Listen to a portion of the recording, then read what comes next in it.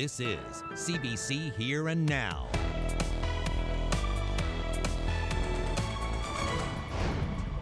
No layoffs? No problem. Just start from scratch next time round. That is not on for us. We cannot go there. Um, I just feel this is a place I need to be. Remembering the lives lost on Flight 491. He shoots and he scores! Newfoundland and Labrador's Liam Hickey puts another one in the back of the net. Our latest snowmaker departs as we roll over the next 12 hours, bit of a break, and then we're watching our next system, which is brewing off to the south. The details are coming up. Nine years ago today, 17 people lost their lives traveling to work in the offshore. Two pilots and 15 passengers died. Only one person survived the crash of Cougar Flight 491. Families of the victims are remembering their loved ones today, and tonight they'll come together for the annual service at St. Mary's Anglican Church in St. John's. That's where Here Now's Carolyn Stokes is standing by live. Carolyn. Well, Anthony, as you can see, people are just starting to arrive at this service tonight. Hundreds of people usually attend this annual service, and at the center of it all, these 17 faces, 17 lives lost, 17 families who still miss them every day. I'm told that we will not be hearing the words victim or tragedy here tonight. The service is not about that. It's about celebrating the lives of these people and supporting the families who still mourn them every day.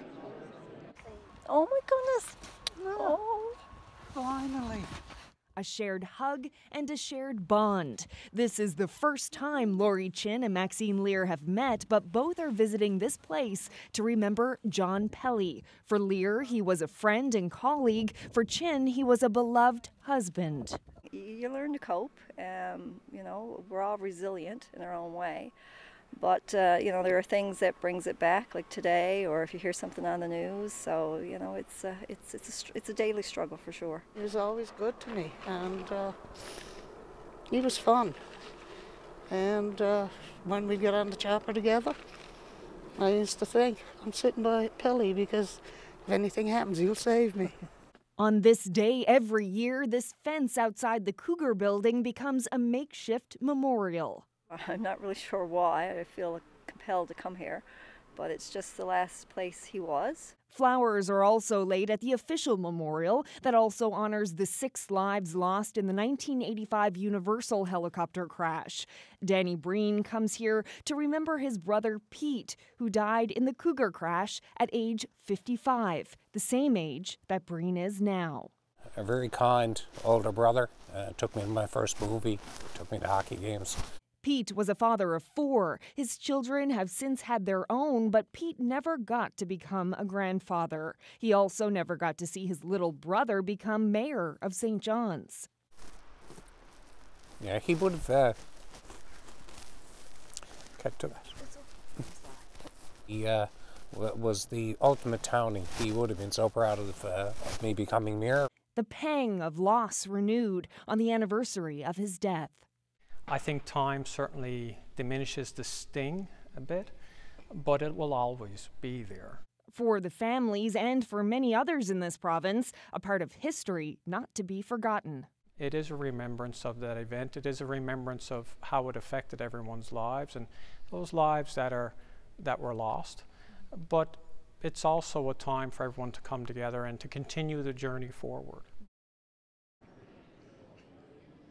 There will also be a moment of silence here tonight, the length of 17 heartbeats, one heartbeat for each of these lost souls, meant to be a reminder that they all live on in the hearts of those who love them. Reporting live in St. John's, I'm Carolyn Stokes for Here and Now. A kidnapping charge has been laid after a woman claimed she was held against her will on the weekend. The RCMP say a 44-year-old man from Happy Valley Goose Bay faces one charge of kidnapping and one charge of forcible confinement. The incident is alleged to have happened in the community on Saturday. Police say the woman later contacted them to say she escaped from a vehicle in Churchill Falls about four hours away. She was unharmed. Marystown is getting ready to hold a public meeting on a plan to establish a massive salmon aquaculture operation in Placentia Bay. Grieg NL wants to farm Atlantic salmon in 11 sites like these ones on the south coast. The province is considering investing tens of millions of dollars to buy a stake in that project. Tomorrow's public meeting at 7 p.m. in Marystown is part of an environmental impact statement that Grieg has been ordered to prepare prior to approval. The coalition of groups concerned about aquaculture say the EIS process is being rushed because land-based aquaculture projects will soon make raising salmon in sea cages unnecessary. Uh, the projects in Maine and in Florida and in other locations now that are on land instead of being in the ocean, they're of a similar size. So that's where the world is going, and the sand is shifting very quickly on this industry. You know, so I think that's un underscores why there's some urgency on the part of government and Grieg, you know, to get this thing under underway as quickly as possible. Well, there's bad news for this province's capelin fishery. A survey from DFO shows there's been a drop of 70% in the population. But scientists say the decline can't be linked to overfishing. Instead, environmental changes are believed responsible. We don't have evidence that the removals from the commercial fishery are driving it. As, as I said, you can have an extremely low biomass and get a good cohort of capelin, and the opposite can happen, right? Um, it seems to be largely environmentally driven. Hmm. We'll see how many uh, we get uh, when the good weather comes this year. When or the good comer, when the good weather comes, uh, we've had snow, of course, many parts, uh, and is there more snow to come? Is that what I heard? Well, the snow is uh, kind of tapering off through this evening uh, across the island, which is good. We have a bit of a break, and then it's a snow and rain mix coming later in the week for the mm -hmm. island. More snow for Labrador. Uh, let's deal with the situation right now because it was a bit of a slimy to slick drive home for folks across the Avalon, the northeast coast, and into central parts of Newfoundland where the snow was coming down at a pretty good clip earlier this afternoon. We've tapered off to some freezing drizzle. Uh, temperatures near one minus one right now at the airport. Winds sustained near 30 kilometers per hour. We're watching those heavier rounds of uh, snow. That's now pushing off to the south, and the setup as we move forward through this evening. As this low, slowly, there it is right there, the center of that low pulls away. It's just some lingering flurries and freezing drizzle across the menu uh, for tonight across the Avalon into central parts of Newfoundland. Really not much in the way of accumulation. As we start the day tomorrow, uh, we're going to be seeing a mix of sun and cloud across the board, which is good, but it's as we roll into the Tuesday night, Wednesday time period that our next system that's it knocking on the door by the time we get to uh, Wednesday morning, and then that will pull in with some snow. We'll talk about uh, amounts and uh, who's going to be changing over to rain and your complete forecast details coming up in just a few minutes. Debbie? Thanks, Ryan. Well, Brad Gushue has done it again. He's won Canada's top men's curling prize. Team Canada beat Alberta last night 6 to 4 to win the Brier. Gushue had to draw to the button on his last rock in Regina. And that's what you dream about, and uh, yeah, to make it is even better, especially after I only hit eight foot last year. So this week was was so different than last year. Like I don't I don't ever want to say it was easy, but the fact that we were playing so well, we felt so confident and so in control the whole week, and and we knew if we just kept doing that, we'd give ourselves a chance, and we did. Um, you know, last year was such a grind that we had to claw tooth and nail to, to get it. This year, you know, we were all firing on all cylinders, and, and it's a completely different feeling. So uh, these are definitely different uh, different feelings and different wins, but uh, both are real special. I bet they are. well, Greg Smith, skip of Team Newfoundland and Labrador, won the Sportsmanship Award, and we'll be chatting with him tomorrow. The St. John's Edge split a weekend series with the London Lightning. The two teams are battling for the top spot in the NBL's Central Division, with London still sitting in first place. The Edge won on Saturday night, but lost 124 to 102 yesterday in front of a sold-out crowd at Mile One. The team is heading out now, uh, out of town for four road games, but they'll be back in St. John's at the end of the month.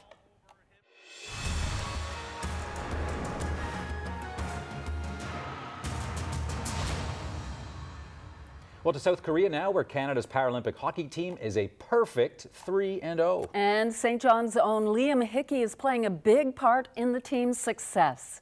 And then Hickey's going to bring it back in again. Nicely onside. He might have a path to the net. He shoots and he scores. And there's the third goal that Canada's been hungry for. That's from today's game against Norway. Canada went on to win that game 8 0. Hickey had a goal and an assist. In Canada's two previous shutout games against Italy and Sweden, Hickey had four goals and three assists. The broadcasters are singing his praises. Hickey, he's just, he's progressed so fast, and you've seen him in basketball. I, I watched him at the uh, Parapan American Games in Toronto a few years ago. Comes in here. The skill, the skill level is off the charts. Hammer's made so many quality stops this game, right under the sled. I love the muted celebration by Hickey, saying, you know what, this is just one step in the journey. He's doing so well. He now, really Canada is. has the day off tomorrow, and they're still waiting to find out just who they're going to take on in the semifinals, which happen on Wednesday. So let's turn our attention now to competition closer to home. The Provincial Winter Games kicked off this weekend in Deer Lake, and our Colleen Connors was there.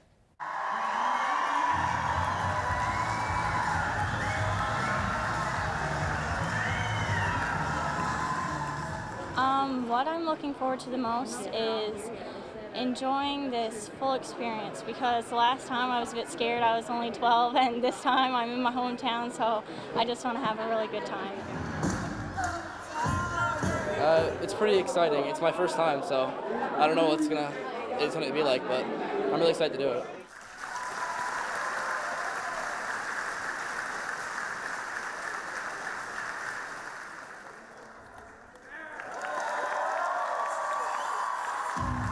Lots of sports on the go. Today was the second full day of competition, with young competitors taking over just about every single sports venue available on the West Coast. And here now's Colleen Connors was in the thick of it. She started her day at the bowling alley in Deer Lake. As you can see, I'm here at the bowling alley portion of the Newfoundland and Labrador Winter Games. I'm at the Hodder Memorial Complex in Deer Lake, and there is a lot of energy in this room right now. You've got players from all across the province lining up and bowling here all afternoon, right up until this evening. The energy is quite high in this room today with lots of fans cheering along. But just down the road at Xavier School, there's a little bit more of a quiet atmosphere. Precision is a word I would use to describe it. It is the gymnastics portion of the games. This school gym has transformed into a gymnastics playground. Teen gymnasts from across the province are here putting their best moves on the balance beam, uneven bars, and the floor routine. Well, we have a routine and it goes with music and we dance through it and then there's a variety of different tumbling skills. Yeah, very impressive. So, how much practicing do you have to do to get that routine perfect? We train about 25 hours a week, um, so it's really time consuming and we do about an hour of each apparatus a day and then we do um, conditioning. And those hundreds or possibly thousands of hours of practice have paid off. Both gymnasts are pleased with their performance. Well, I feel really good about my first tumbling line and my leaps were pretty good. How do you feel? Well, yeah, I feel the same. Like my leaps were better and my tumbling lines were okay. Chelsea scored a 9.4 and Paige a 9.5 in their floor routines, all while a large crowd looked on. This is their first experience at the Winter Games, but certainly appears this won't be their last display of a strong competition.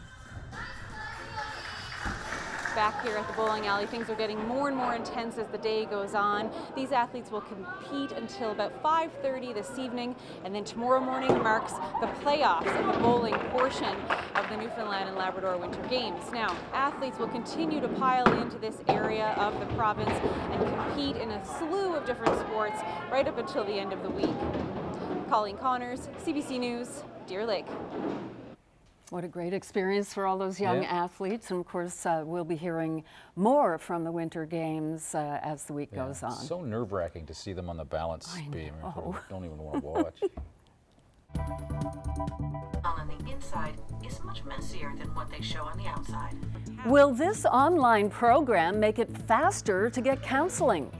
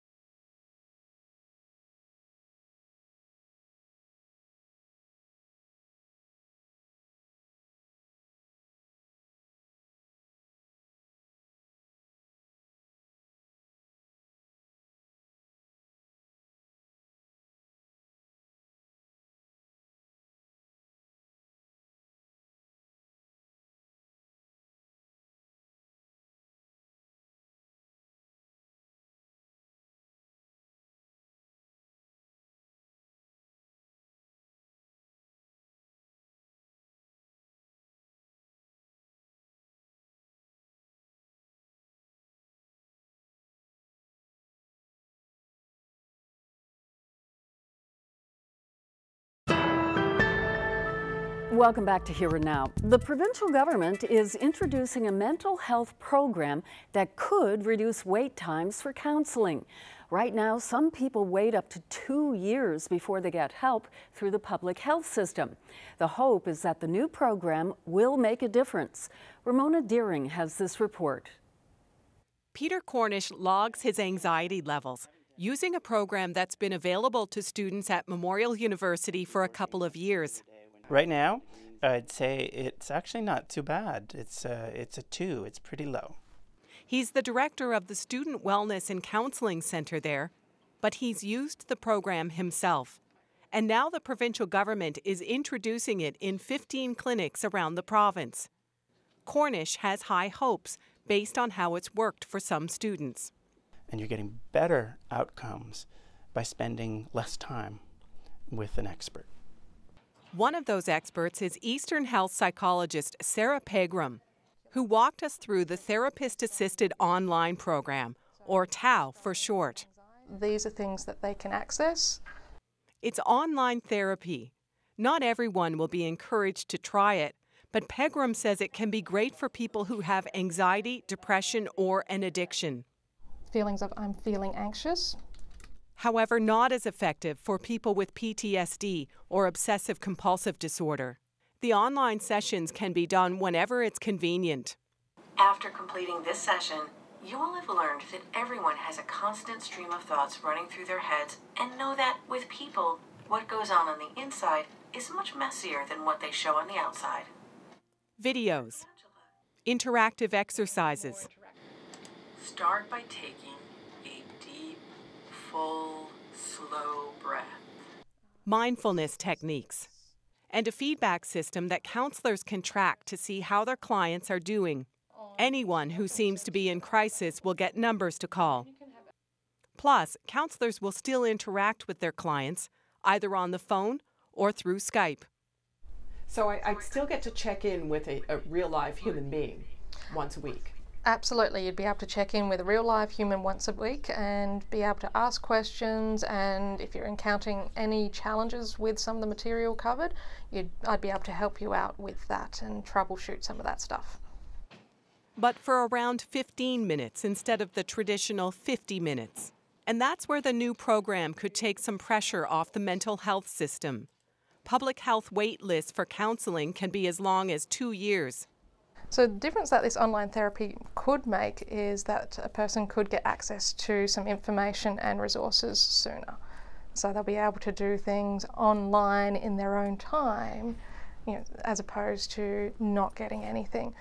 I was wondering if there are any openings for some online clients. The government has watched the success of the program at Memorial University, and now the province is the first in Canada to adopt the online therapy. I think we're leading uh, the country with uh, um, innovation. And maybe shorter wait times to see counselors within the public health system. Ramona Dearing, CBC News, St. John's. And to get more information about the online therapy, just call 811. And by the way, uh, community mental health clinics are opening their doors to uh, walk in sessions, and you don't have to have a prior appointment for that. It's called the Doorways Program. And again, as Debbie mentioned, just call 811 for more info. We can't go there. CUPE's side of what's holding up the negotiations.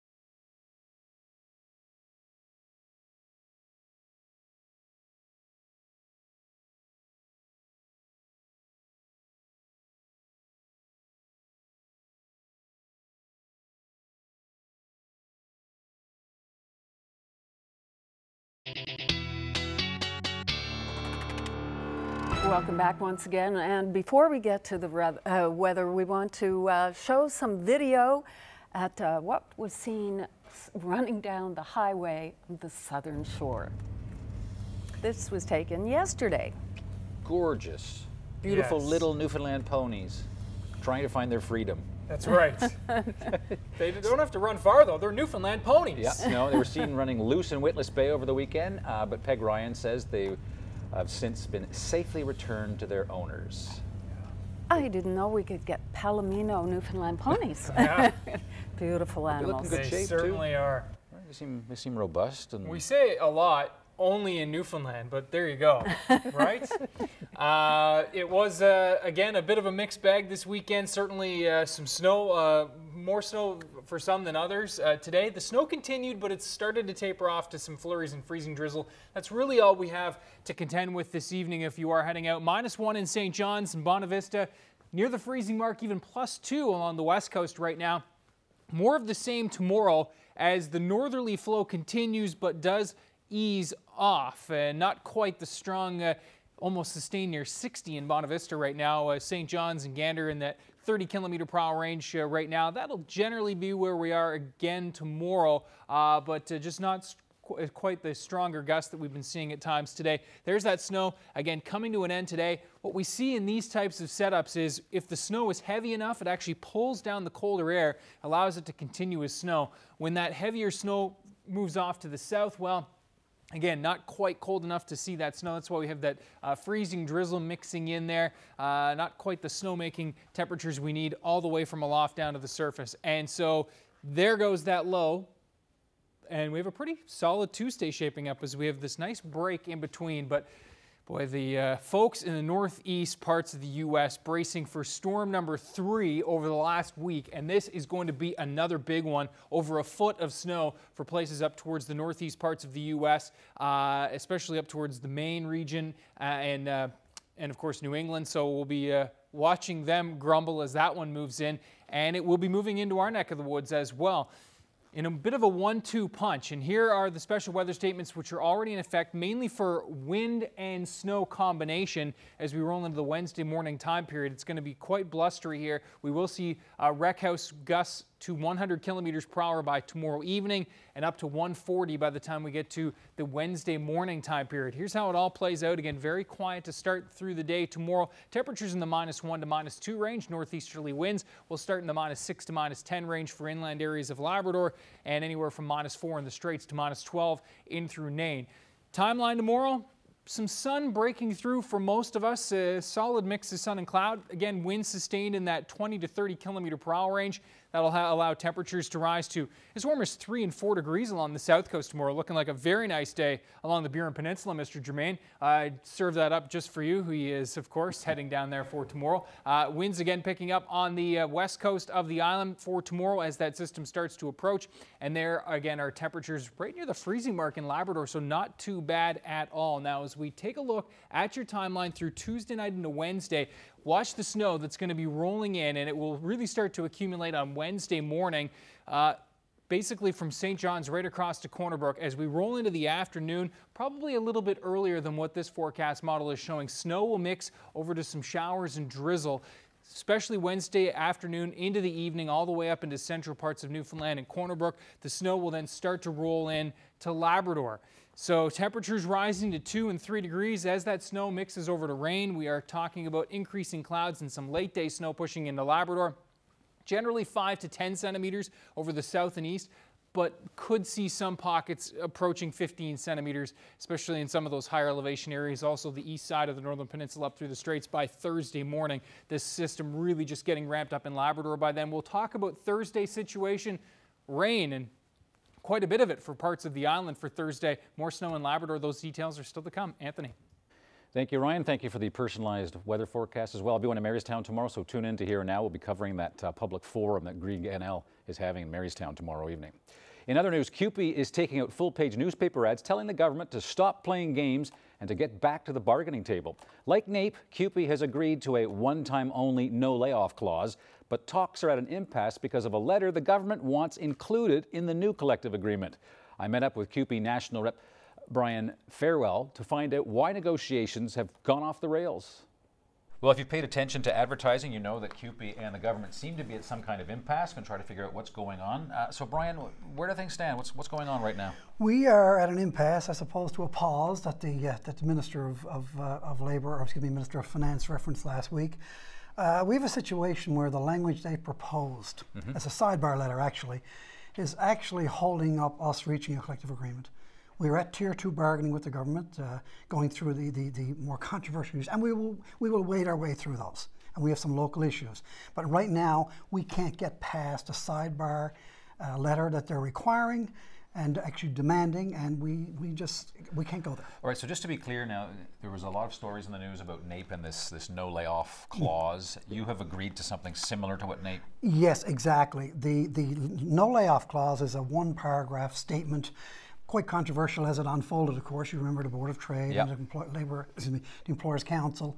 Uh, even Mr. Uh, Osborne uh, made reference to the bonding agency requiring mm-hmm. some kind of comfort letter so that, uh, so that he could justify or, I, I, guess, get back to him and confirm right. that, that, this, is a one off. This is a one off and yep. will terminate on uh, March 31st, 2000. Right. Uh, excuse me, 2020.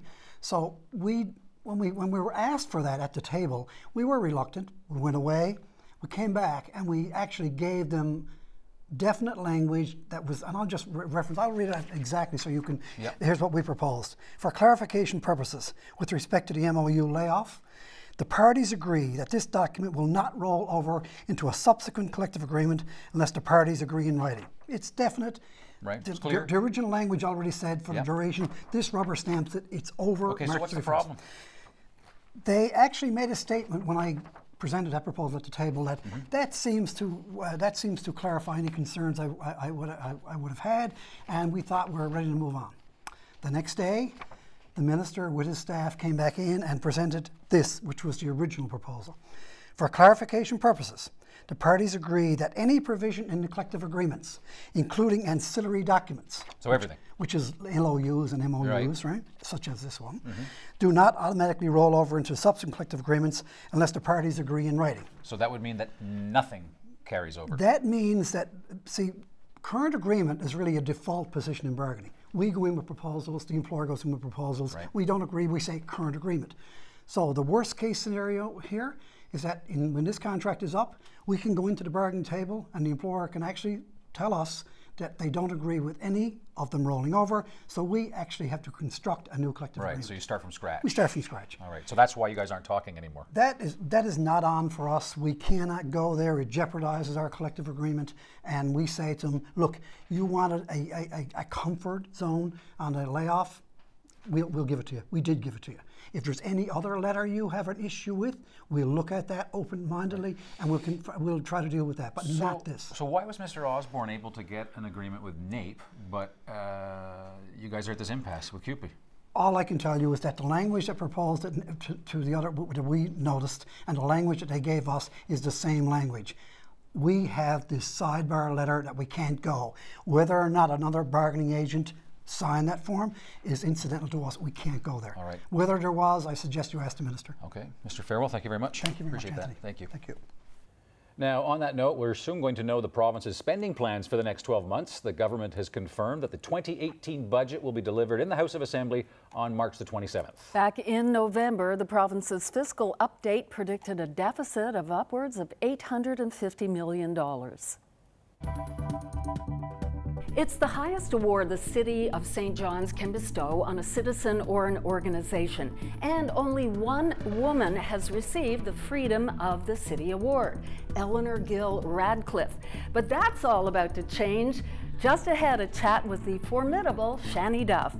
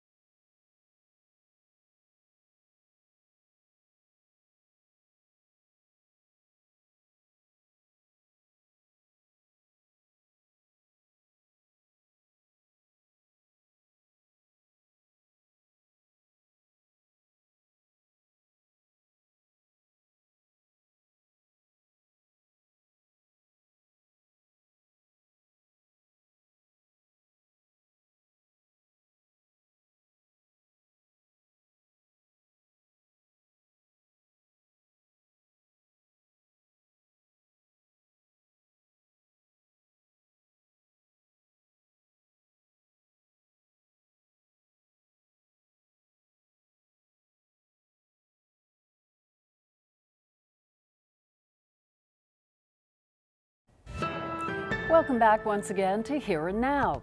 A film shot in this province snagged a lot of trophies at last night's Canadian Screen Awards in Toronto.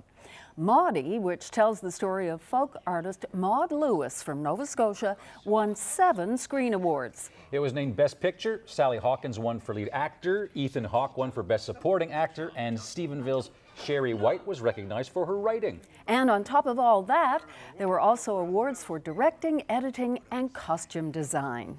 Well done. Well, she has been a trailblazer for the capital city, and now St. John City Council is honoring Shannie Duff with the Freedom of the City Award for her political, professional, and community efforts, the highest award given by the city. Shannie Duff won eight municipal elections, including mayor.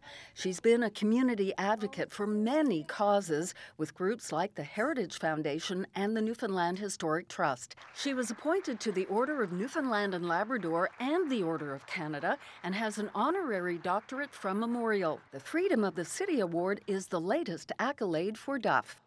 Well, Shannie Duff, congratulations. How does it feel to be honored in this way?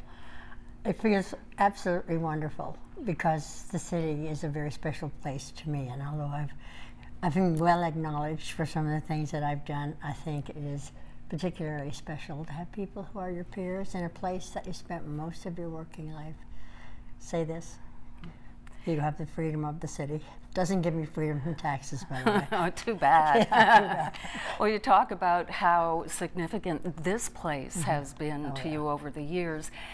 These days, there are a lot of female faces sitting around here, uh, and younger women as well. What do you think when you reflect on this change? I think it's fabulous. I've spent many hours speaking to young women and mentoring them over the age, and, and speaking at events, talking about the importance of women being in seats where decisions are made. And I'm very pleased with this group that we have here. I know them all, and I think it's absolutely wonderful. This is a record number of women for City Hall. Now, we acknowledged women last week, International Women's Day. There is the Me Too campaign underway, other campaigns that uh, show that women are not going to take what they have over the years. You, for instance, right here in this chamber, yes. you took a lot of verbal and mental abuse that went along with that, particularly from former Mayor Andy Wells. Um, what do you think now as you reflect back on those days, and why didn't you quit? Well, I didn't quit because I thought it was important what I was doing, and I, I would never back down from bullying. I just, I just dislike it intensely, and I felt that if you back down and sneak away, that's not going to change anything. So I, I just stood my ground and outed it in the public chamber.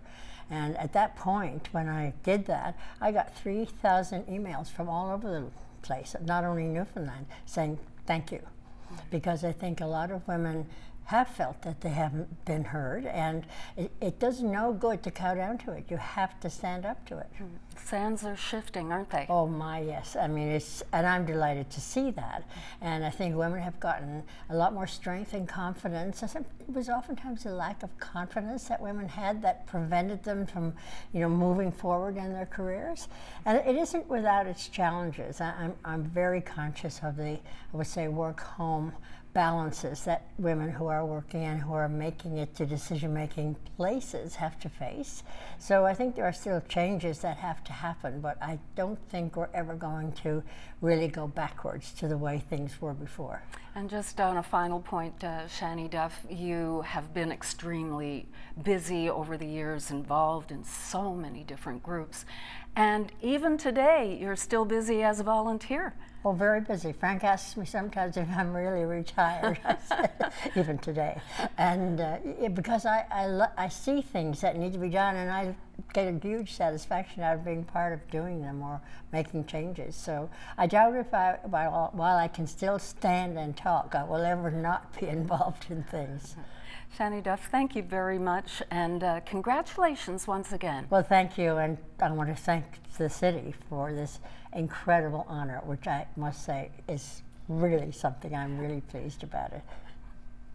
That's wonderful. Yeah, rightly proud. Yeah. She is known for her heritage work, as I mentioned in the uh, set, setup to the interview, but there are other causes near and dear to her heart. Mm-hmm. There's Habitat for Humanity, the Bannerman Park revitalization, the Grand Concourse, and much more. Right. So Debbie, council gave approved it today, but when does she actually get her hands on it? Uh, sometime this summer to be announced. How many unused pills can be collected in one day? The people behind an annual pill drop give us that staggering total next.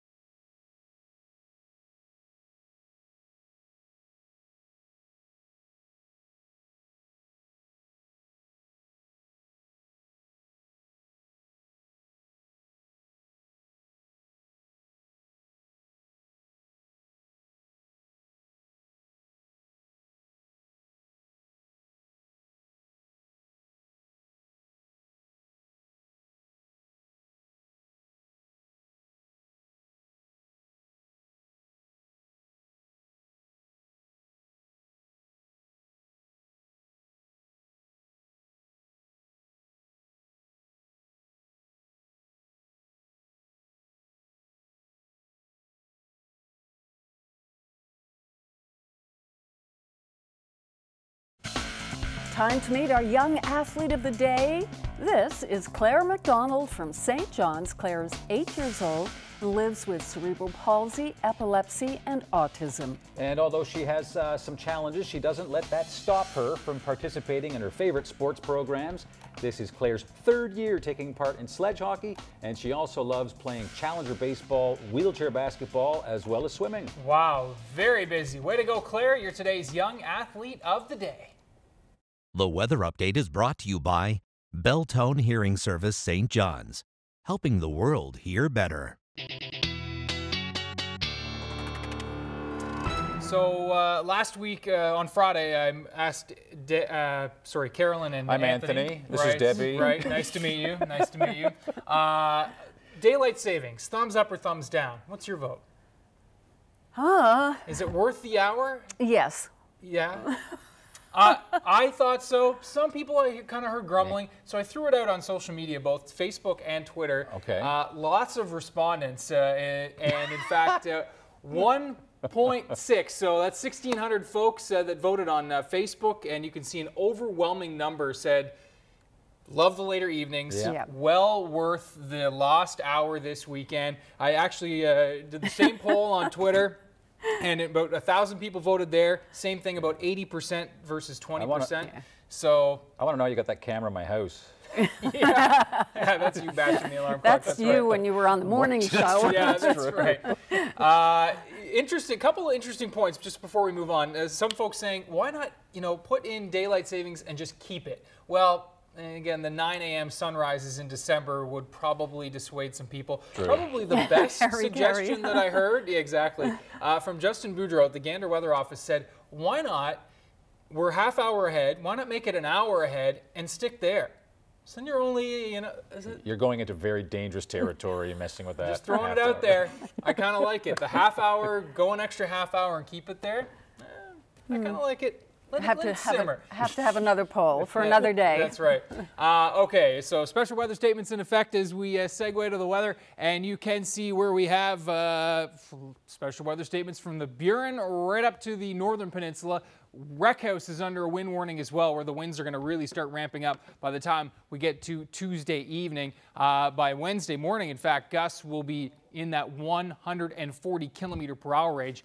This is the low that is going to be causing all of the unsettled weather over the next couple days, and it's going to be a bit of a one-two punch, and we'll show you what we mean in just a second. Uh, there is the first low that has been snowing itself out over the, through today, uh, kind of redeveloped uh, on that trough from our original weekend system.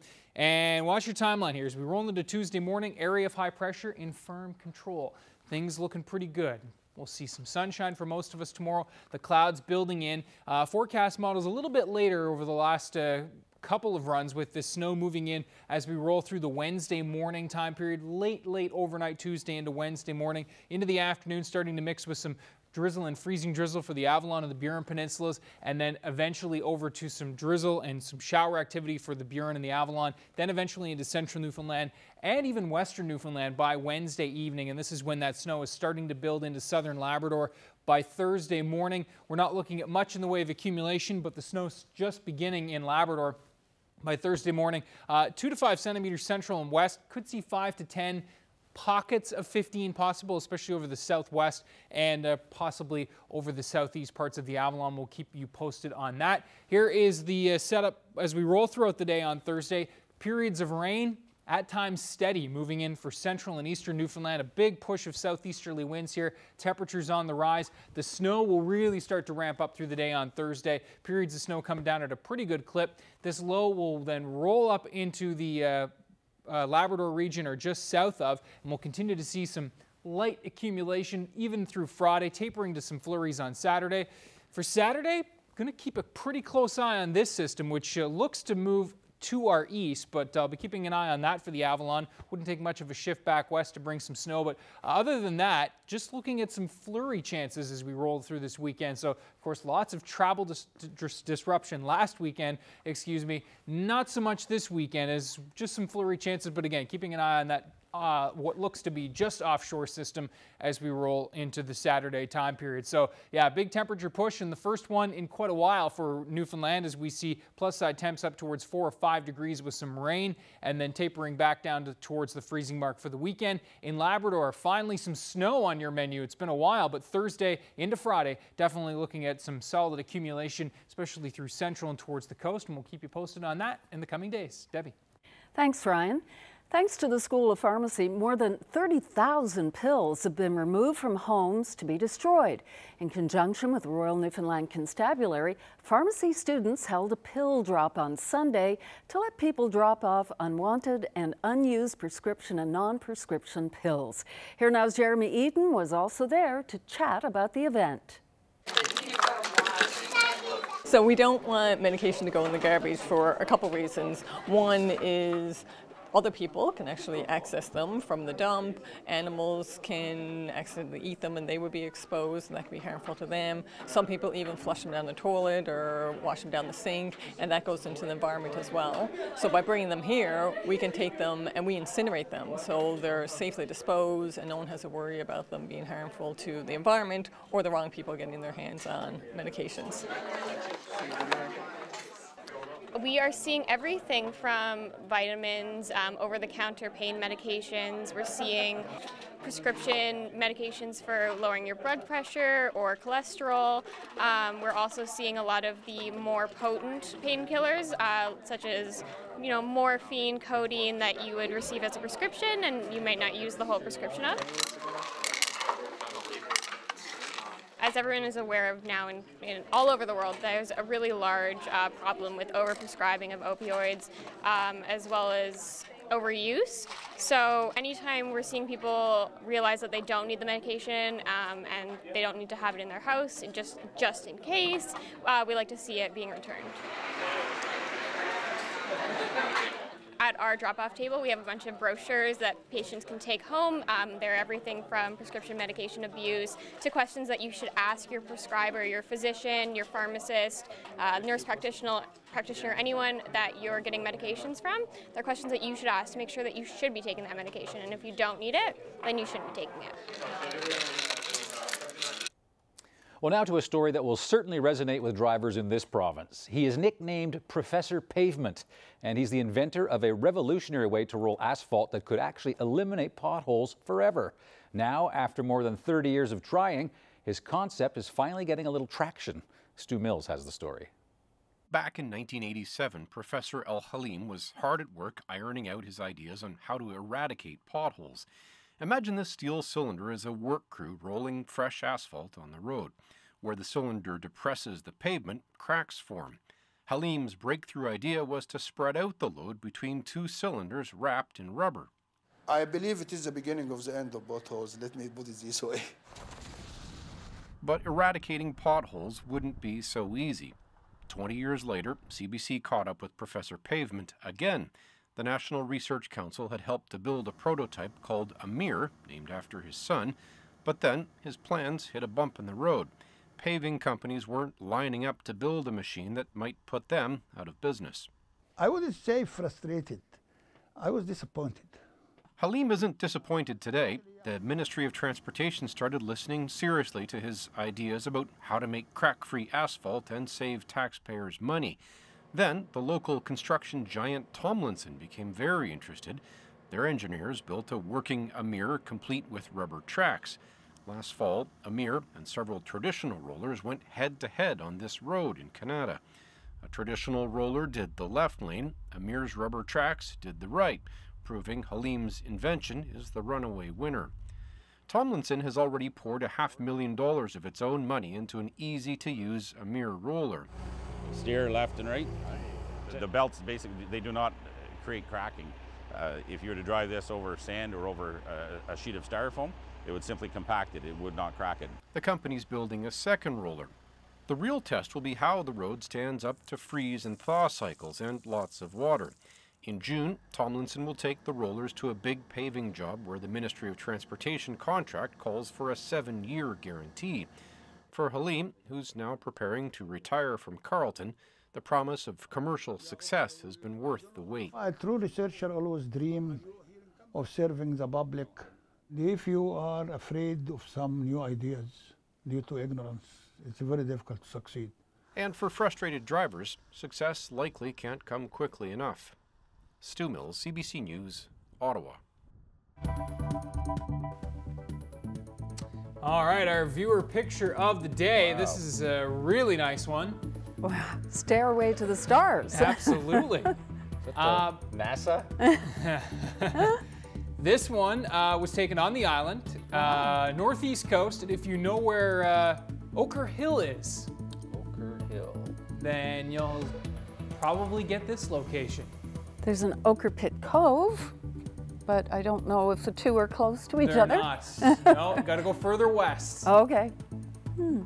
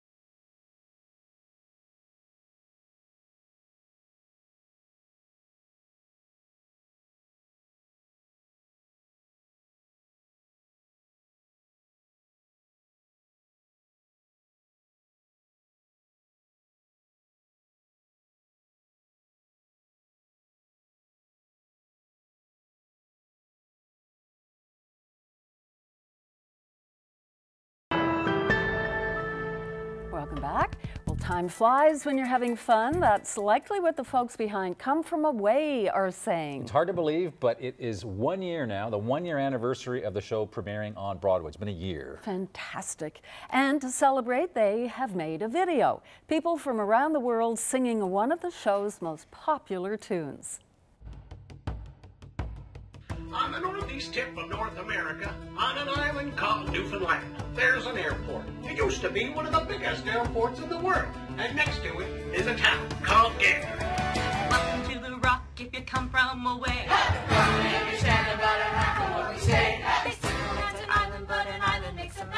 Especially when one comes from one like Newfoundland. Welcome to the rock. It looks like it off a pretty good time. Yeah, that, it's Right. fantastic. And I'm so glad that the show's being recognized, as we've talked about. so some- well. And it was so tastefully done. It could have gone so wrong. It but really it's nice. fabulous. Yeah, it was great. So, how do you celebrate a milestone birthday? Well, it doesn't hurt to share it with friends, of course. don't don't feel old and I feel well, thank God. I have my health. That's what led this Montreal retirement home to throw a collective birthday bash for nine special residents. They're each turning 100 years of age this year, and the community is now home to 20 centenarians, some as old as 105. Residents received letters of congratulations from the Prime Minister, Montreal's mayor, and even the Queen.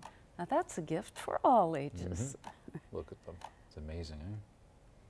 I wonder what their secret Well is. done. Definitely. A lot of uh, tips in that uh, circle there uh, for, uh, of course, uh, aging very well. Now, uh, our viewer picture of the day. Uh, Anthony cheated. He had some. I didn't. He called a friend. It was that or the 50 50. yeah, that's right. Uh, and so the answer was Terra Nova National Park, and there's a reason we're showing this picture. It's because Terra Nova National Park has just been awarded the a Dark Sky Preserve, which is an area in which no artificial lighting is visible, and active measures are now in place to educate and promote the reduction of light pollution to public and nearby municipalities. Well, my first guess when we knew where it was was maybe it's a fire, forest fire spotting uh, tower, but now maybe it's astronomers It's or uh, people can get up there and, and have that just natural night sky. Or it's for the bear counters. Ray is going to have to send Ray is going to have to send us the info, but thanks for sending the picture. Yeah, That's right. And that is our program. Thank you for being here. Have a great night. See you tomorrow. Good night, everyone.